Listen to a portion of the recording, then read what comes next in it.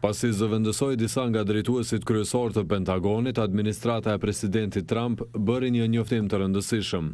By January fifteenth, Duke filluar nga pesëmbëdhjetë janari dy mijë e njëzet e një, numri i trupave tona ushtarake në Afganistan do të jetë dy mijë e pesëqind. Five hundred troops.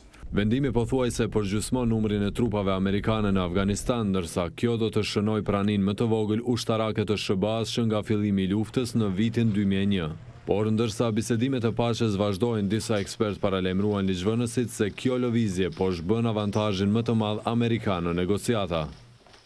Për mendimin tim politika e tërheqjes njoftuar të martën ishte e gabuar. Vendimi i administratës është një variant i ngadalshëm dhe i kushtueshëm i dështimit.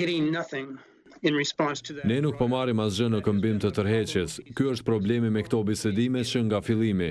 Duke biseduar me talibanët pa praninë e qeverisë afgane, ata e dinin se ky është fillimi i negociatave për kushtet e dorëzimit tonë.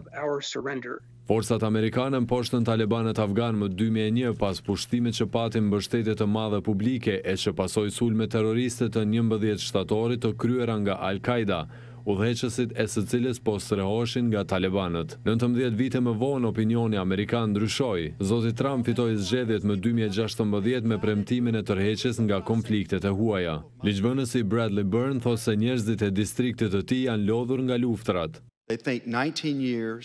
Ata mendojnë se për nëntëmbëdhjetë vite u vranë dhe plagosën mijëra amerikanë.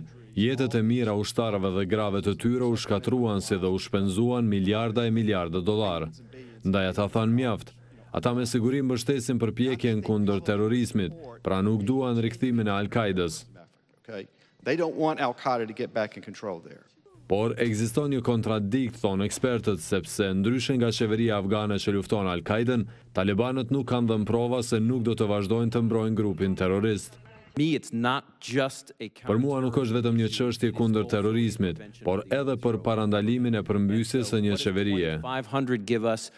Në mungesë të një marrëveshjeje paqeje, ekspertët dëshmuan se tërheqja e mëtejshme e forcave amerikane mund të zhvendosë ekuilibrin e pushtetit në fushatën ushtarake në favor të talibanëve, duke ulur mundësitë e arritjes së një marrëveshjeje paqeje. Ndërsa presidenti i zgjedhur Joe Biden ka prioritet kryesor luftën kundër koronavirusit, është e paqartë se si do t'i trajtojë administrata e tij pasojat e mundshme të këtij vendimi.